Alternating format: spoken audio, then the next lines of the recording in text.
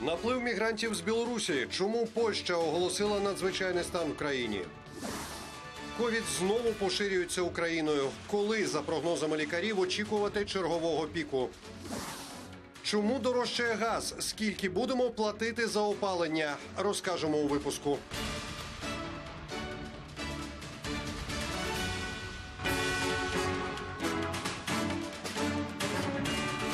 Добрий вечір. В ефірі новини. Підбиваємо перші підсумки дня у студії Олексій Фадєєв.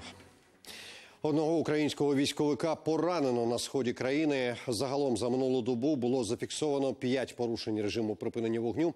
В районі Новомихайлівки незаконні збройні формування цілили зі 120-мм мінометів. Біля Красногорівки били з артилерії та застосовували великокаліберні кулемети та стрілецьку зброю. Українські солдати відкривали вогонь у відповідь з передової Ігор Левинок. Це місце, де розірвалася ворожа міна, а за моєю спиною людські хати. Там лише за пів кілометра село, але ворога це ніколи не стримувало. Наслідки мінометного обстрілу, який днями відбувся тут, на Луганщині, околиці села Троїцького. Ось тут був приход 82-ї міни. Ось навіть дивіться. Осколки є. Армійці кажуть, передова тут гуркоче щодня, але тоді зав'язалося справжнє бойовище.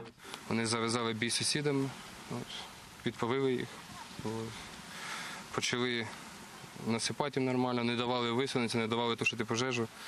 Ну, Прийшлося переключити вогонь на себе, тобто, щоб просто хлопці змогли там потушитися, ну, привести, скажімо так, позицію в порядок. Ну, от, в принципі, вогонь на себе переключили. Там, перший день, в принципі, ніч закінчилася, нормально, вони тихо, спокійно було під ранок. День теж спокійно, а на вечір вони вже прямо на, це- ну, на другий день вже на нас націлилися. Получается, подошли на 250 метров, начали забрасывать нас вогами. Вот с кустов. И потім с таких отработали по нам, ну, пулеметы, такое, автоматы. И минами забросали 82-ми. Українські солдати відповіли вогнем на вогонь, і тільки так ворога змусили замовкнути.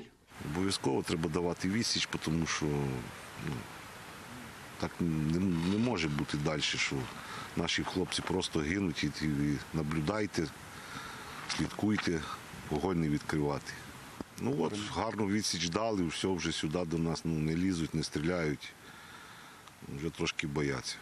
Втрати були з обох боків, та армійці кажуть, вони покарали ворога грамотно і по мирним населеним пунктам не стріляли, на відміну від супротивника. В них після по ітогу двох днів один трьохсотий, один контужений. Це на перший день. А на другий день також один трьохсотий в них був. Що сусіди, що ми відповідь розсипну не давали, то це все було ну, скоректовано, все було прицільно, скажімо так, з економією боєприпасу. З Луганської області Ігор Левинок, Сергій Дубінін, Ігор Щепет. Новини телеканал Інтер. Кількість незаконних затримань представників релігійних меншин в окупованому Росією Криму зросла у п'ятеро, і це лише упродовж останнього року. Таке заявив генсек ООН Антоніо Гутерреш. У звіті організації зокрема йдеться, що до затриманих застосовують силу, вилучають документи та навіть підкидають так звані речові докази. На доповідь ООН уже відреагували в МЗС України і зазначили, документ чітко визначає Російську Федерацію державою окупантом. Німецькі ліберали виступили за посилення санкцій проти Росії. Глава вільної демократичної партії Німеччини Крістіан Глінднер заявив, що Євросоюз має запровадити проти Кремля, окрім уже наявних, більш адресні санкції. Наприклад, індивідуальні обмеження на поїздки для оточення Путіна, зокрема, неможливість відправляти їхніх дітей на навчання до ЄС, а також мати там власність або рахунки. На думку Лінднера, це стане додатковим важелем, якщо Росія надумає шантажувати Україну поставками газу. За даними соцопитувань, вільні демократи можуть посісти четверте місце на виборах до Бундестагу у вересні. Євросоюз готує п'ятий пакет санкцій проти Лукашенка. Там наголосили, підставою стало використання мігрантів як відповідь на попередні обмеження ЄС. І додали, таке нехтування з боку Лукашенка не допоможе скасувати санкції проти Білорусі, а навпаки, призведе до введення нових. Нагадаю, ЄС уже запровадив чотири пакети персональних санкцій за фальсифікацію президентських виборів і придушення протестів, а також економічних після примусової посадки літака Ryanair. Новий афганський уряд очолить співзасновник Талібану Мулла Барадар. Про це повідомляє Reuters із посиланням на власні джерела. Барадар разом з іншими лідерами Талібану прибув до Кабула, де невдовзі мають оголосити склад нового уряду. Водночас Катар із Туреччиною веде перемови з талібами щодо відновлення комерційних авіарейсів із афганської столиці. Ну а тим часом у провінції Паншир тривають бої між талібами та бійцями Національного фронту спротиву. Нагадаю, це єдина провінція в Афганістані, яка не здалася Талібану. Туди з'їхалися чимало противників талібів. Очолює спротив Ахмад Масуд, син легендарного Ахмада Шаха Масуда, який успішно бився з Талібаном у 80-х та 90-х. Таліби вже заявляють, що захопили частину панширу, і бійці спротиву зазнали тяжких втрат. Натомість у національному фронті переконують, що контролюють провінцію і вбили сотні бойовиків Талібану. Ну а тим часом у Польщі запровадили надзвичайний стан. Він поширюється на прикордонну територію з Білоруссю. Причиною стала міграційна криза, а також майбутні навчання російської армії. Що відбувається на межі Польщі та Білорусі? Дивіться у нашому матеріалі.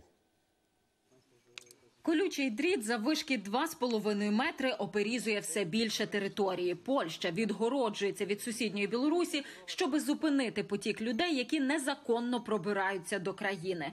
Цей паркан має простягнутися на 180 кілометрів лісами. Місцевим дуже незвично бачити зведення. Я вважаю, що це необхідність у такій ситуації. Щодня ми бачимо, як багато роботи у прикордонників. Розуміємо, що чимало людей втікають від війни, але ж це можна зробити іншим способом через законні прикордонні пункти, де можна попросити захисту та притулку. На Магду та інших мешканців цього села тепер поширюється надзвичайний стан. Він діятиме вздовж усього східного кордону та охопить понад 180 міст та сіл. На цій території заборонили проведення масових заходів, а також не дозволяють приїжджати без поважної причини. Цим рішенням Польща демонструє, що вона бере відповідальність за власні кордони, а також за кордони Європейського союзу.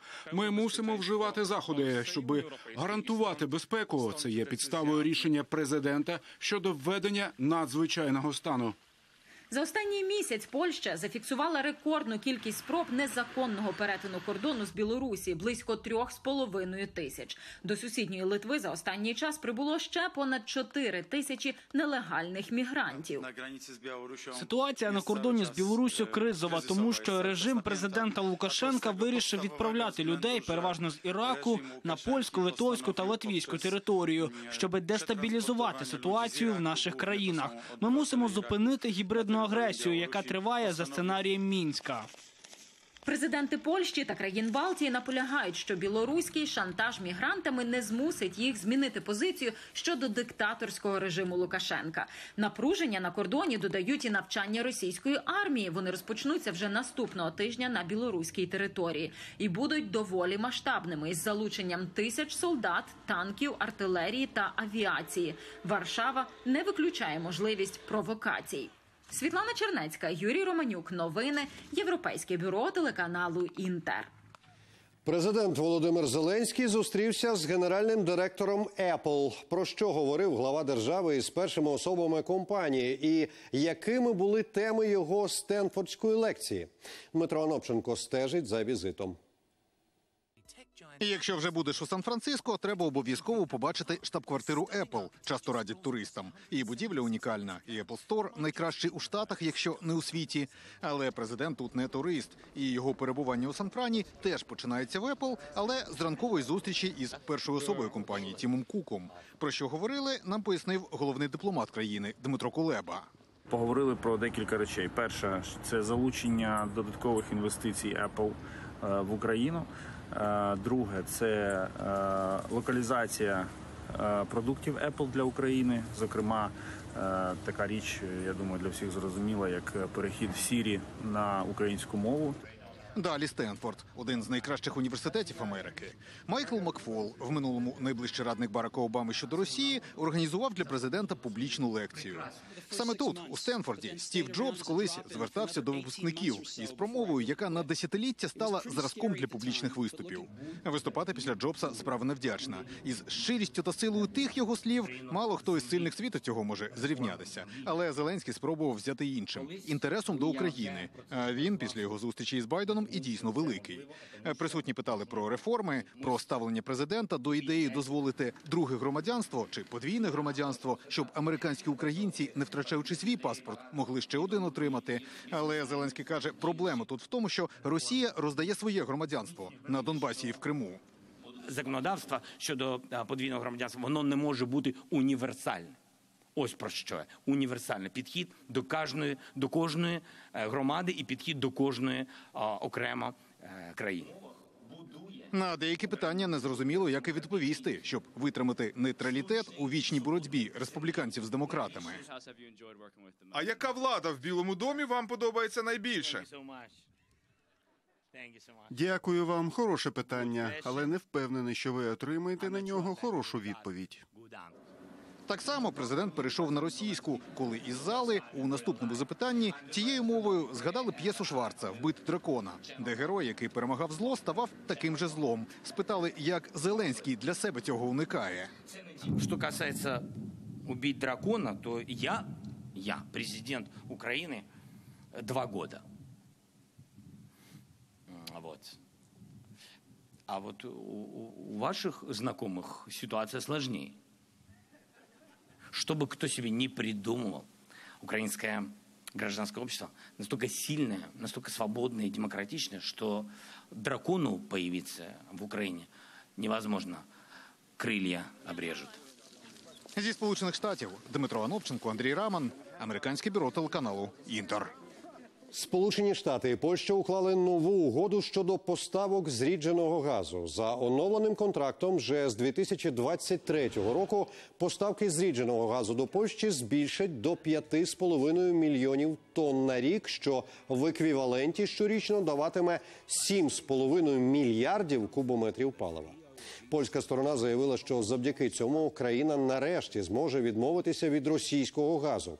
Польській енергетичній незалежності також неабияк посприяла купівля газових активів у Норвегії і побудова нового газогону Baltic Pipe та СПГ терміналу у польському Свіновще.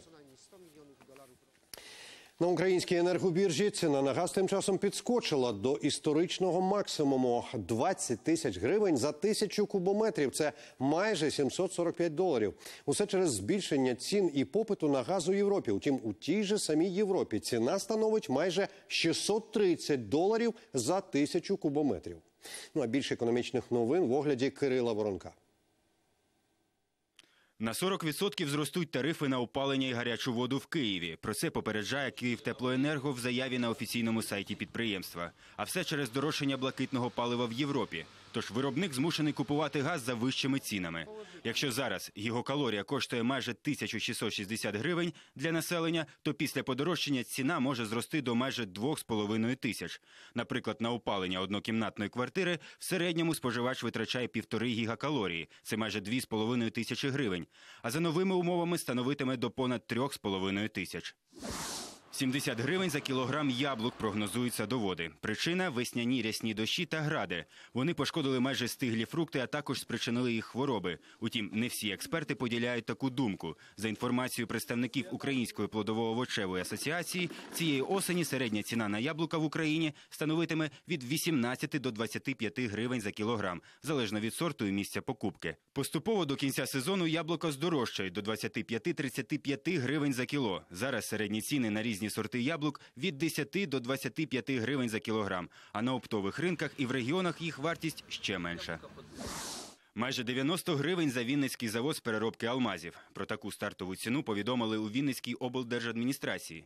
Весь пакет акцій заводу виставили на аукціон з приватизації, який має відбутися 1 жовтня.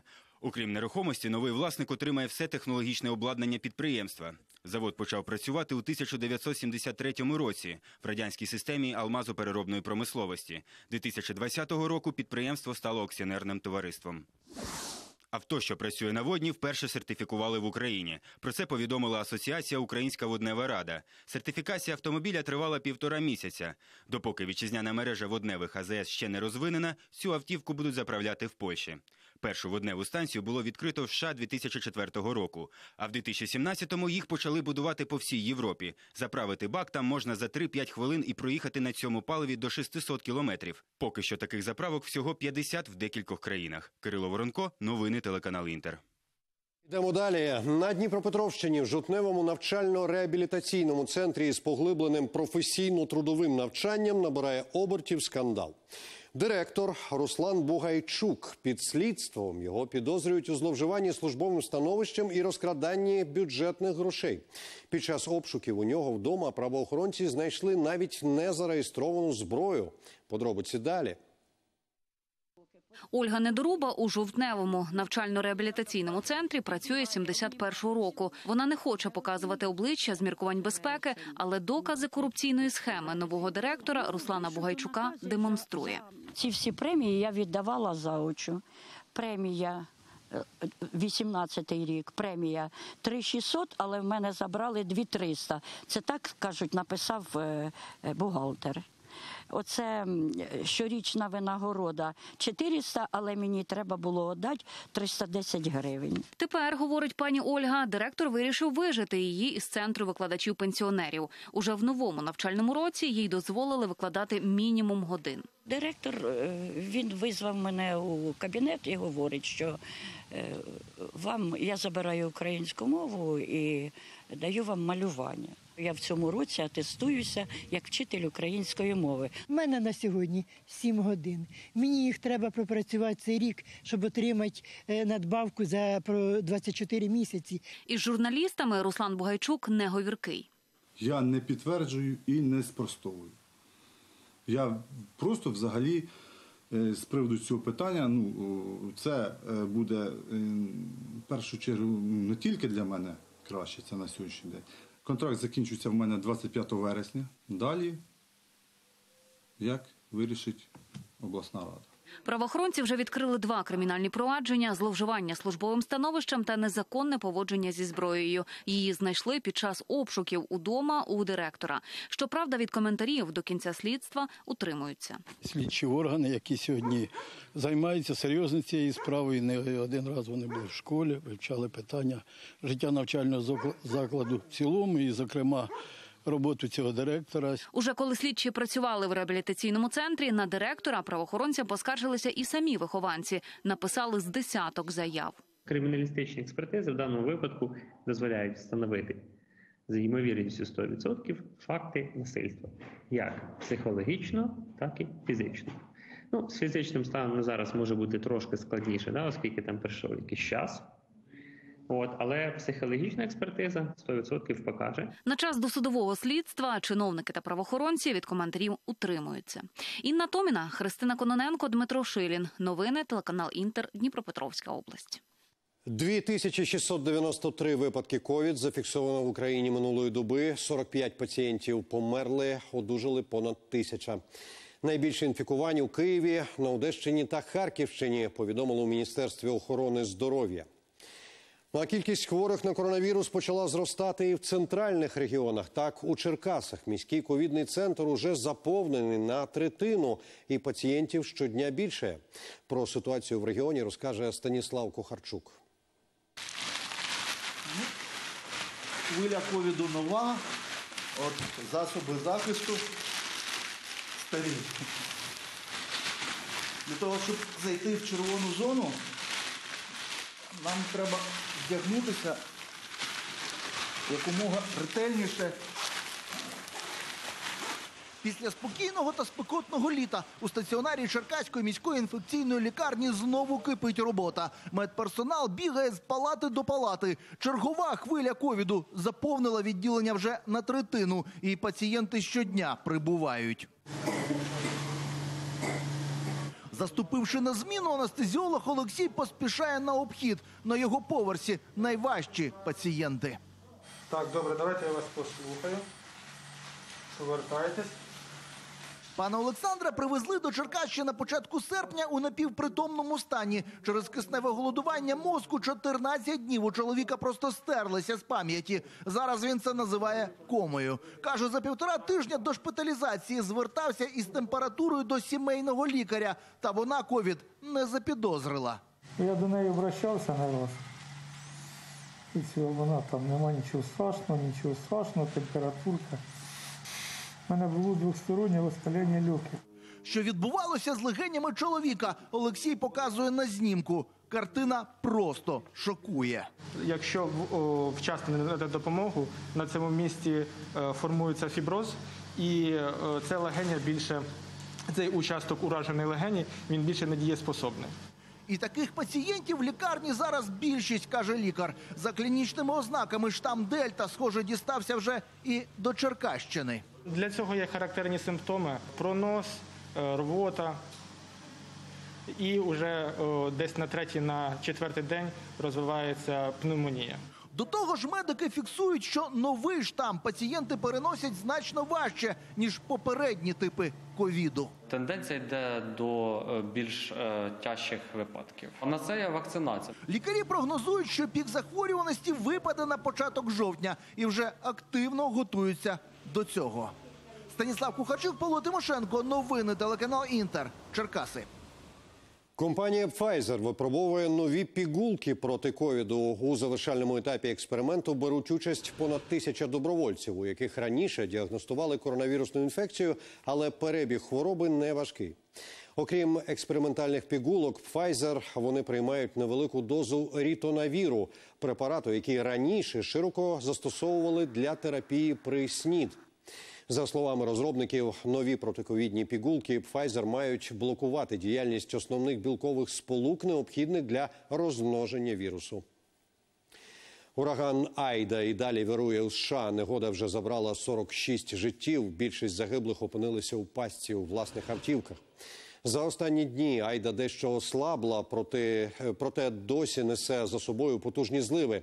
І від повеней вже постраждали Нью-Йорк, Нью-Джерсі, Пенсильванія, Коннектикут і Меріленд. У трьох штатах запровадили режим надзвичайної ситуації. Негода понівечила будинки, повалила дерева та порвала лінії електропередач. Нагадаю, ураган Айда отримав четверту категорію небезпеки з п'яти можливих. Буря обрушилася на південь США 29 серпня. Українсько-американська компанія Firefly Aerospace змушена була перервати випробування своєї космічної ракети Альфа, коли та вже була у повітрі. Запуск відбувся сьогодні вранці з бази Ванденберг космічних сил США у Каліфорнії. Після двох хвилин польоту на ракеті зафіксували аномалію, через що місію скасували, а ракету підірвали просто в повітрі. У компанії заявили, що вибух був контрольований. Від випробування ракети довелося відмовитися у зв'язку з протоколами безпеки, коли зафіксували відхилення від запланованої траєкторії польоту. Космічні польоти компанії Virgin Galactic мільярдера Річарда Бренсона призупинили. Федеральне управління цивільної авіації США розпочало розслідування недавнього інциденту, коли під час польоту Бренсона корабель змінив курс. Управлінні хочуть з'ясувати, чи була тоді загроза громадській безпеці. У компанії Бренсона виправдовуються. Пілоти, мовляв, зіштовхнулися з несподіваним вітром на великій висоті і змушені були змінити курс, аби безпечно злетіти, а потім повернутися на землю. Тим часом НАСА починає тестувати повітряне таксі. До 2024 року планують запустити перші рейси. Агенція тестуватиме такий авіатранспорт уперше. Вимірюватимуть рівень шуму під час злету, польоту і посадки таксі. Команда також перевірить безпеку польотів. Випробування триватиме до 10 вересня, і за три роки планують побудувати цілу мережу авіаперевезень у Сполучених Штатах. Розумну столицю зводять у єгипетській пустелі. Будують поблизу Каїра. У місті площею понад 700 квадратних кілометрів зможуть проживати понад 6 мільйонів людей. У смарт-столиці Wi-Fi буде загально доступний. Його сигнал надаватимуть ліхтарні стовпи. Місто обладнають шістьма тисячами камер. Так влада буде відстежувати скупчення людей, затори на дорогах та можливі крадіжки. Кожен житель матиме спеціальний додаток для оплати рахунків та контакту з різними службами. Уперше за 40 років легендарний шведський гурт Абба представив дві нові пісні. Одна з них супроводжується відеокліпом зі старими кадрами виступів Абби. Решту вісім композицій з нового альбому представлять 5 листопада. У травні почнуться голографічні гастролі гурту. Передбачають, що віртуальні зображення знаменитої четвірки виступатимуть у супроводі десятка музикантів. І це всі повідомлення випуску. Мої колеги вже готують випуск подробиць. Він вийде в ефір о 20-й. Не пропустіть. А я прощаюся з вами. На все добре.